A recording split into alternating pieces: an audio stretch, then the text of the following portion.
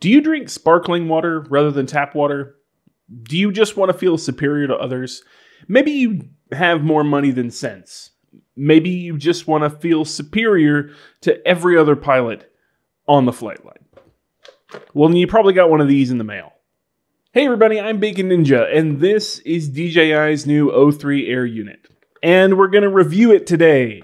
No, we're not going to review it today because this thing has literally been reviewed to death. As soon as it came out, everybody and their brother and their brother's dog and potentially their pet hamster reviewed the DJI 3 unit because it's been pretty long anticipated. We've really been looking forward to this from DJI. It is a huge upgrade when it comes to range, penetration, and pilot video quality if you have the right set of goggles, as well as the ability to maybe sometimes in some situations not need to carry an action camera on your quad. But one thing that hasn't really happened fully yet is a full list and detail of how to get the thing installed. What are some tips and tricks? What should you be looking for? And how do you make the OSD work? And can I mount it with sticky tape? And how hot does it really get? And all of this in one concatenated blob of thought so that you don't have to go a million places and research it all. So today, that's what I'm going to do. I'm going to give you my biggest tips and tricks for getting this thing up and going if you recently purchased one. And no, you do not have to be some kind of superiority complexed rich individual to own one of these. A lot of people have these that barely can afford the quad it's in. It's just a really good system. I was just kidding at the beginning. Hopefully, I didn't offend you. And if I did, leave me a comment below because the internet loves to know when you've offended people.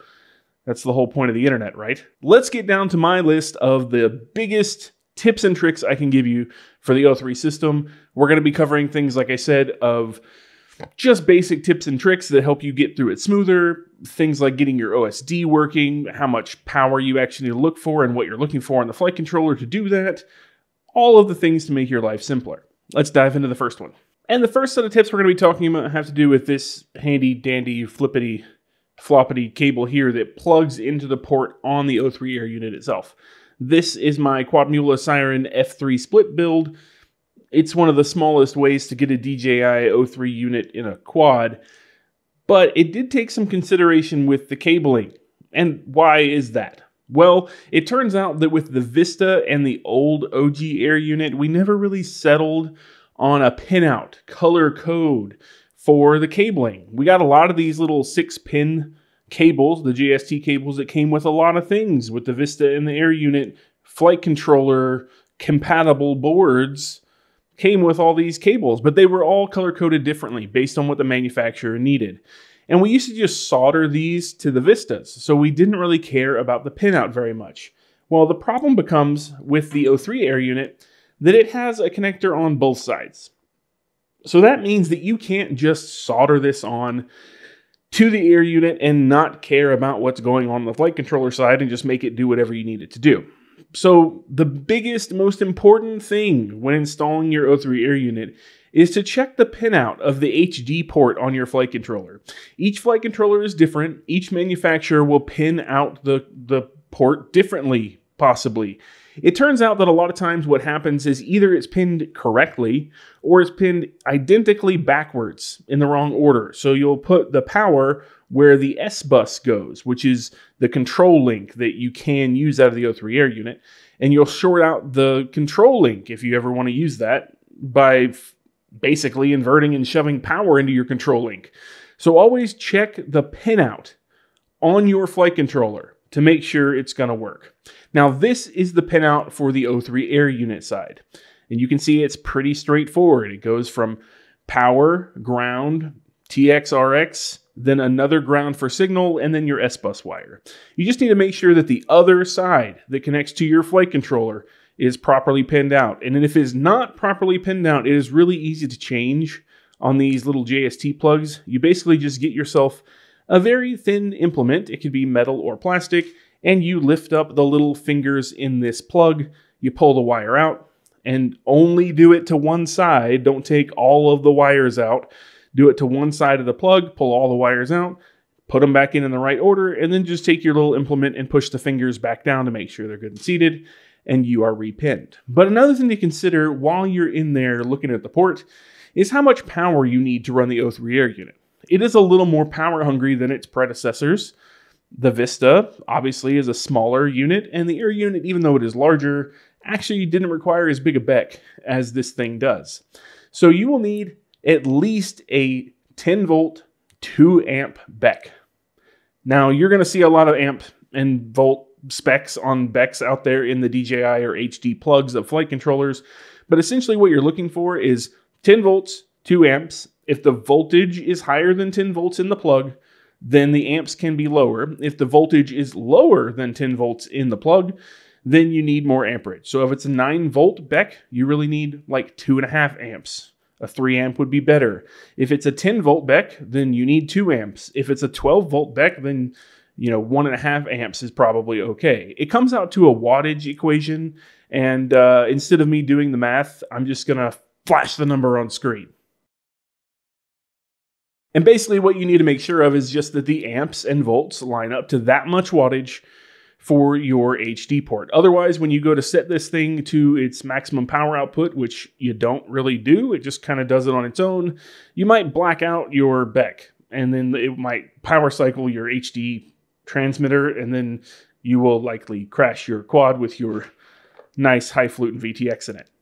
You don't want to do that.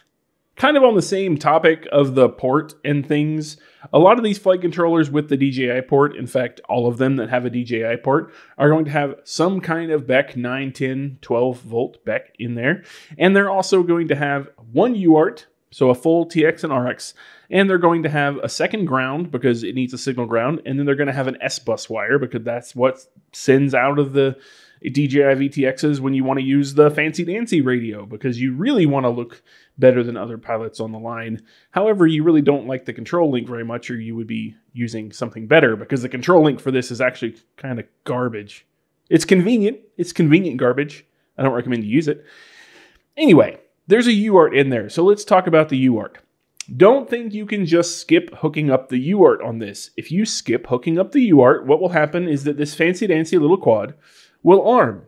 And it will arm in low power mode. The VTX will put itself in low power mode where it makes less heat. It just wants to sit at a low heat threshold. But it won't ever know when you arm because you haven't put a UART on it. And because you haven't put a UART on it, it'll never go into full power mode. So you'll never get rid of the little icon in the bottom right that says low power mode enabled. It'll stay there. It won't record. It won't do any of the fun, fancy stuff. It's just going to stay in low power mode. So it's very important that you hook a UART up to this, even if you're talking about a wing. And if you don't want to know what I mean by wing, not everybody flies the cool quads like we do. Some people still fly things with wings, but they want to see from them and they don't always have flight controllers. But you need a UART if you want to put out the full amount of power from this thing. So you must hook one up. And while you have that UART in there, one of the best things about the DJI O3 system is that it has native MSP DisplayPort OSD. That's a mouthful of words, but essentially it is our Betaflight OSD taken into the digital VTX, sent to our goggles, and then our goggles actually draw that on. They take the data from the MSP feed, which is basically the communication bus inside the flight controller, the MSP communication and programming bus. They send that to the goggles. The goggles write all that data out on our screen in all the places where we tell it to in Betaflight. And that's how we get our OSD, and the O3 unit supports that natively. But if you just hook it all up, it won't work. If you just plug it in, it doesn't actually work. There are some things that you need to do in Betaflight to get it going. And before you head over to Betaflight, the first thing you need to do is take a look at your flight controller's diagram. And this is the diagram for the flight controller I have in the quad I have on the bench to show you. It is a SkyStars Mini F7 HD Pro, and this is the DJI port. And a lot of times what you're going to see is it pinned out and wired to something like the Air Unit or Vista. You can see it's represented by this cable color mess here. And no, none of this is written on the flight controller itself nothing's printed on the flight controller's pads or the port. And the picture is really horrible. And welcome to FPV, where finding the diagram is hard and the picture is always fuzzy. So we just need to zoom in a little bit and see if we can read all the labels on these colors. And after zooming in on it, I can see this is on the bottom of the board and from USB side, because that's easy to identify from the top of the board, from USB side to other side, it's 10 volt ground, T6, R6, ground, S bus. And now I know that my UART in here that's going to be for my MSP DisplayPort is on T6. So T6, R6, I know it's UART 6. Now I need to go into Betaflight and make a couple of changes. There's a couple ways to do this because this video is coming out in kind of a transitionary period. I'm going to show you how to do it in Betaflight 4.3, but I'm also going to quickly cover the difference between that and what you need to do in Betaflight 4.4 because it's in release candidate and that's going to be out soon and this video is still going to be viable. So let's start with how to do it in 4.3.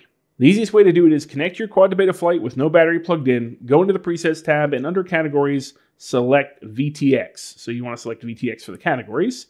And one of the first ones that comes up over here on the right is fpv.wtf MSP Let's click that one. Let's pull the option list down, and we know that we're going to be use DisplayPort on UART 6. So I'm going to check that box. And just for giggles, I'm going to show the CLI, and this is what it's going to type out for us. OSD DisplayPort device MSP, set DisplayPort MSP serial equals 5. And there is this nice little string of characters and lines there. There we go. We're going to hit pick and we're going to let that write to the flight controller. And now once you power cycle the flight controller, you should have OSD via DisplayPort. MSP will be talking over UART 6 and sending all the data that your goggles need to write on the screen for the OSD. Now, what if Betaflight 4.4 is out and you are now using that? Let's take a look at how to do it in that. And again, you'll connect your quad to Betaflight with no battery connected, and this time we can actually head over to the ports tab because something cool they've added is in this drop down for peripherals. So we find our UART 6. In this case, I'm just going to use UART 5 because it's a virtual port. Uh, and we're going to pull this down and we're going to hit VTX MSP plus DisplayPort. So you select that on the UART that's in your plug. You see it turns MSP on, all those things. We save and reboot that. Let the flight controller reboot. You can connect to it again. And then we're going to head over to the CLI tab. And in the CLI tab, we're going to type set OSD underscore DisplayPort underscore device equals capital MSP. We're going to hit enter, and then we're going to type save and hit enter again. And once that reboots, again, everything should work with your OSD in Betaflight 4.4.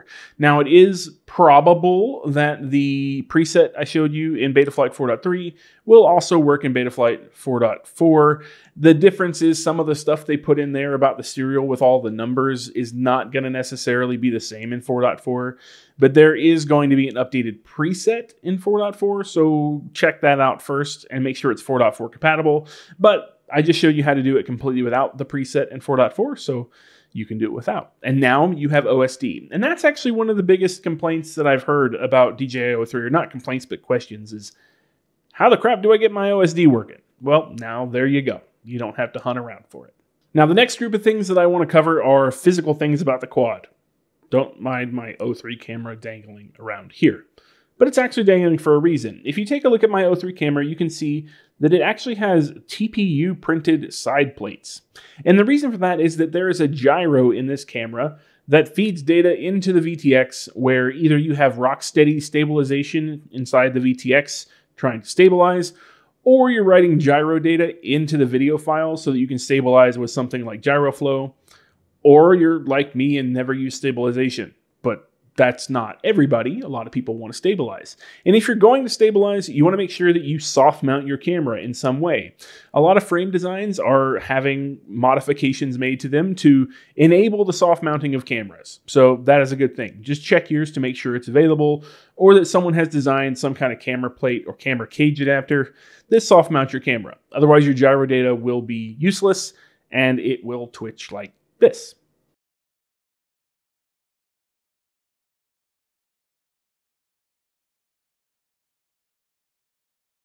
So don't let that happen to you. Just soft mount your cameras. Now, a couple other things about the physical aspects of frames when it comes to the O3 Air unit. There's a lot of trade-offs. So we have a pretty high field of view on this camera, which means that in order to get the most of it without seeing our standoffs or top plate in view, we've got to push the camera fairly far forward. Well, that means the camera tends to stick out past the prop line in order to get it out of the props and give us the most field of view. But that also means that as soon as you hit something head on, your camera is taking 100% of the impact. So it's all a trade off with the O3 system. You can either have the camera far out there on the front, get no props in view, and run a true X frame for freestyle, but you might smack your camera around and wind up breaking it. Or you can suck the camera back in, deal with some props in view, and if you have a good frame design, you won't have the frame in view, but you're gonna have props in view, but you'll have camera protection. Or you can suck the camera back in and run a dead cat frame, which means that they take these two arms here and kind of move the angle back a little, which means it's not great for freestyle because the geometry is kind of the wrong setup for freestyle. And it tends to break easier when you crash because the arms are at more of a straight angle and they take it at more of a 90 degree hit than they do with a freestyle frame. But you won't get any props in view and you know it's a trade-off so it's all trade offs. Consider the trade offs. You can have camera protection, but no, you know, you're going to have props in view, or you can have camera protection and have a dead cat, but you might break it. Or you can have no props in view and it can be good at freestyle, but you might destroy your camera. All things to consider. The last bit is about this antenna here. This is a chunky dunky antenna. And honestly, it's a little bit flippity floppity too. I'm just going to put it on here real quick and show you how floppy this antenna really is. It is not very stiff. We are used to straw antennas being fairly stiff on things like the Caddx Vista or RunCam Link now that Caddx doesn't make the Vista. Anyway, we're used to those being pretty stiff. This is not one of them, and it is fairly large. And it is large because it actually has two cables coming off of the the air unit. It has those two there. If you can see them, I'll put my thumb behind it because there's actually two antennas inside of here. Now DJI says that it is dual band, dual polarity, meaning that it's a 2.4 antenna, 2.4 gigahertz, as well as a 5.8 gigahertz, and it's left-hand polarized as well as right-hand polarized. It's just a whole bunch of weird. And the 2.4 gigahertz, as best anyone can tell after watching a lot of Mads Tech's videos, is mostly just for the control link. So if you're not going to be running the DJI remote on this, then don't worry about having to run a 2.4 and 5.8 combined antenna like this. You can pick a replacement antenna up for this for $19 currently. So if you do break it, it's out there. But if you want to run better antennas or something smaller, you totally can do that. And what you can do is just put two right or two left hand because most DJI things are left-hand polarized on your goggles. Two left-hand polarized antennas that have UFL connectors will go right on the ports of this thing, and you can make them whatever size you want. Just remember, if you do that, if you put two left-hand polarized 5.8 antennas, you will not be able to use the control link for this thing. So don't ever plan on using the DJI controller, which you maybe shouldn't anyway, because it's a piece of junk. It's a nice controller, but honestly, the radio link has a tendency to fail safe. Whenever you lose video link, it fail safe your quad, which is a problem. And then you can't get it back, which is a problem because you can't return to home. You can't do anything. It will just fall out of the sky. It's not good. It's really, really not good. And it fail safes way too soon. It's not good. Just use Express LRS or Crossfire or something trusty because these quads tend to get expensive with this kind of system in them. Just my opinion. Now, when it comes to actually mounting the VTX in the frame, there's some considerations you need to make. There aren't any actual through holes like there were with the Vista. You can see I don't have any through holes on there, and I do have my Express LRS receivers taped to it, but I don't have any through holes. So you can't just run bolts through it and put a nut on the top. There are some 3D prints, but you can see how much excess height I have here. Maybe a quarter, just enough for my receiver really, and I have the UFL sticking out of a hole in the top plate. So not very much room. In most cases, you're not going to have a ton of extra room on top. So 3D prints are kind of hard. What I've actually done for my past couple of O3 air units is double-sided tape them in with 3M VHB. Just get the heaviest VHB you can get and tape that sucker in. Now, what you will need to remember is that it does get hot. It is not yet summertime. None of the people who have reviewed it are in a position to really speak to what it's going to do in the real world in the summer and how hot it's going to get. And if that's going to affect the stickiness of your tape, it might. But I have not had any bad experiences just double sided taping this in. Now, I'm going to have a particularly unique scenario over the summer when it's 110 degrees where I live and I'm trying to run this air unit. And if that changes, I will absolutely put a sticky pin post on this telling you why you shouldn't put tape on it. But for now, in all of my experience, I have just VHB taped this to the frame and been fine. Now you can use screws. There are four screws on all the corners of this VTX. Just like there are on the top, there are also on the bottom. The problem with these screws is they are M1.6 screws, which is not a typical size that you find. It's actually really hard to find. Quadmula, who makes this frame, does actually sell screw kits for M1.6 because they saw this a coming. Uh, but it's kind of hard to find usually. And even if you do find it, there's not a lot of meat. So you put a screw through the bottom plate up into your air unit, and if something jostles it around, there's not a lot of thread meat to hold it on. Those were not designed to hold it onto a frame. It was designed to sit in a slot, not necessarily be screwed down. So currently at the moment, the best thing you can do is stick it to the quad. It might not sound great, but that has worked out in several crashes I have had in 80 degree weather so far. We'll see what it does on 110, and I'll let you know when I know more about that. And last but certainly not least, we need to talk about putting things on the front of your O3 camera. Well, why would you put things on the front of your O3 camera? Mostly because you want to get motion blur. A lot of FPV pilots want motion blur in their freestyle footage. They definitely want it in their cinematic footage. So they will lock their frame rate, which is pretty easy to do with the O3 system. And then they will also lock the shutter speed and they will compensate with things like ND filters. And you can see here that I actually have an ND filter on my O3 camera. I just put that on there. That is a Freewell filter because all of the filters by Freewell for the Avata work for the O3 system. And Freewell was nice enough to send me a bunch of these to start trying out.